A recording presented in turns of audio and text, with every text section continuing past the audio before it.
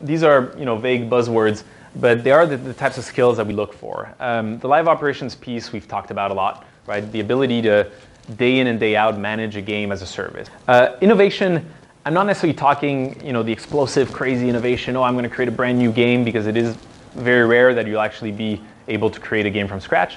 Um, some of that is helpful because it gives you outside the box thinking. But there's also a lot of innovation that you can do inside the box. Strategy, you know, the, the, this big picture type of thinking. I mentioned that you get to be a, product owner rather than just focused on a, a, small step. So being able to step back and say, you know, I'm, I'm tuning some content here that will impact the players that have played for a year or more. How will that impact the players who start today?